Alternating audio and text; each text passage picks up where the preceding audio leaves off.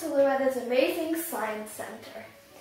Today we will learn about chromatography and other and capillary action and other amazing science experiments. And then then we will learn then we'll learn the science behind it. Right. So now I'm going to pour water in these cups.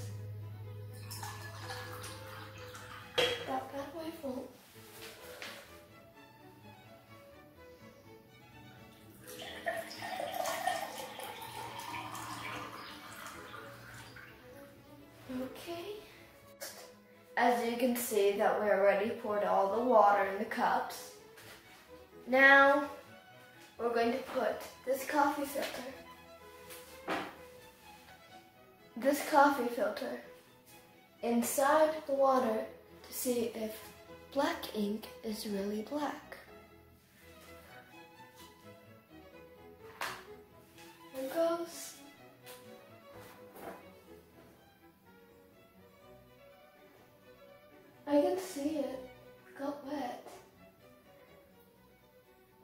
Ooh, I see some blue in it.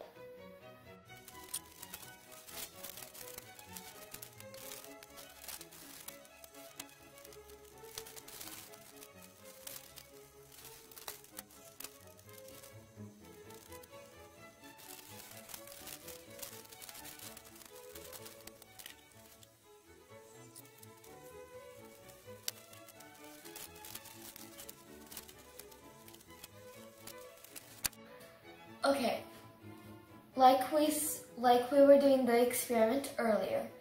Do you think black ink is really black? Pause the video and tell me in the comments. Ladies and gentlemen, boys and girls, this is chromatography. Chromatography is this separation of a mixture which the components move to at different rates. As you can see in the black ink, you can see the brown, pink, and red are heavier weight, so they move slower. And you can see the blue is on the tap top because because the because it has lighter weight and it's fat and it moves faster. But in the dark blue ink, pink is is lighter weight, so it moves faster than the light blue and purple. That all deals with capillary action. I'll explain capillary action to you. So, as you can see, we have communicating vessels. And if you pour liquid in one of them, they'll all balance out and have the same height. But this is communicating vessels with capillary action in the two of them, the last two. The skinniest in the in this one is if you pour it, it will rise the, it will be the highest, overcome the gravity and, and that's called capillary action. And then I will show you a little experiment. So I have tube made out of glass right here. And then you can it's a very easy experiment. I have green food dye and a cup of water and all you need is capillary tubes. So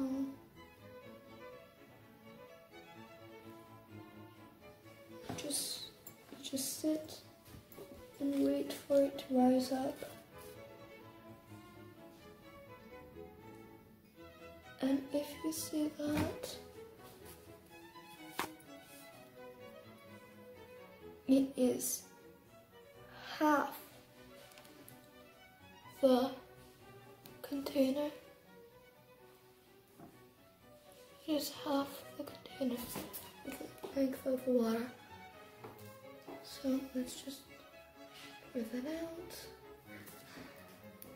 And then that's it. Oh. And capillary action.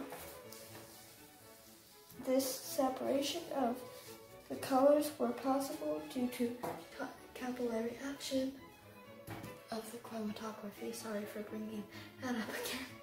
Capillary action is the ability to defy gravity because the liquid flows upward without the assistance of external forces. It is possible by surface tension, cohesion, and adhesion, or adhesion, cohesion, whatever you want, wherever you want to say it. Um, my example for adhesion is water in a glass tube. The water molecules are attracted to the glass. So that makes a meniscus concave. So adhesion is bigger than cohesion. My example for cohesion is mercury in a glass tube. The mercury molecules are non-attractive to the glass tube. So that makes a meniscus convex. So adhesion is smaller than cohesion. Adhesion is smaller than for than cohesion for mercury and adhesion is bigger for cohesion for water. So that's why mercury will not float up, flow up in the glass tube and water will. Now we'll do an experiment about surface tension. So, right now, uh, as you can see, I have a needle and you and needles are needles are made from steel and and steel is more denser than water, so go see my buoyancy and density video about that. So, let's do the water.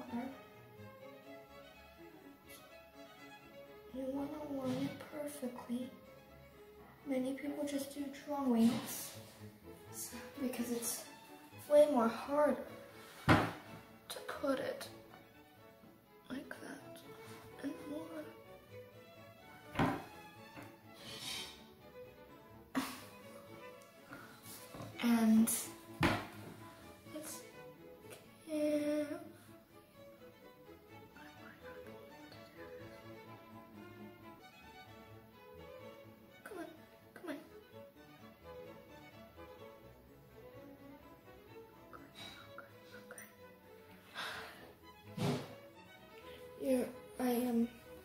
Putting it so you need it full were white on the papers because you need it perfectly horizontally. So, take number five.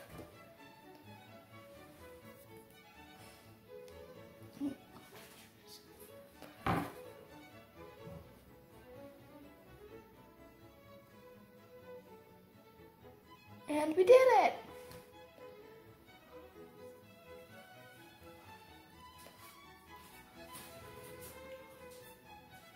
So if you put it perfectly horizontally, it will float. This all happened because of the surface tension.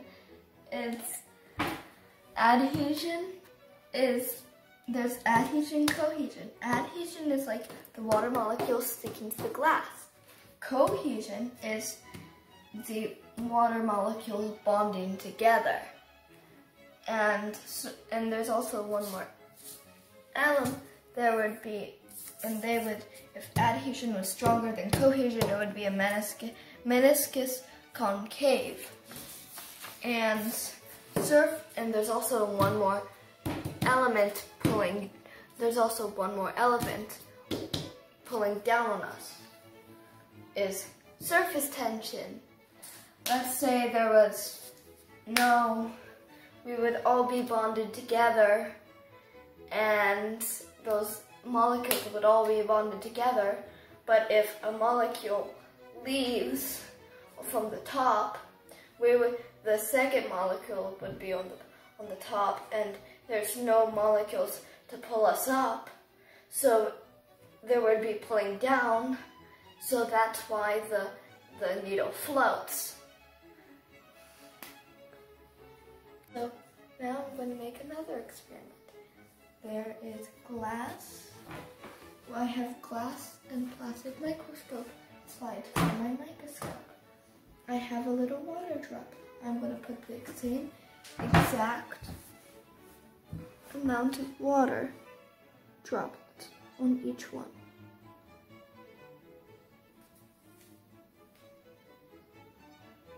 There it is. Okay, then. It's very subtle.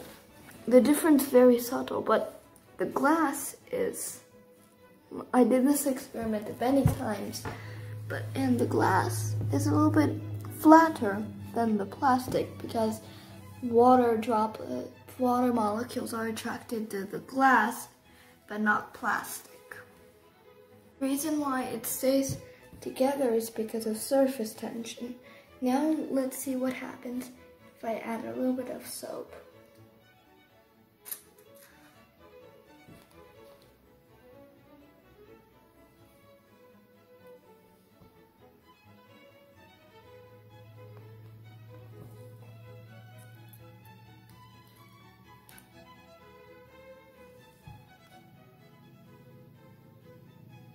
It completely flattens out.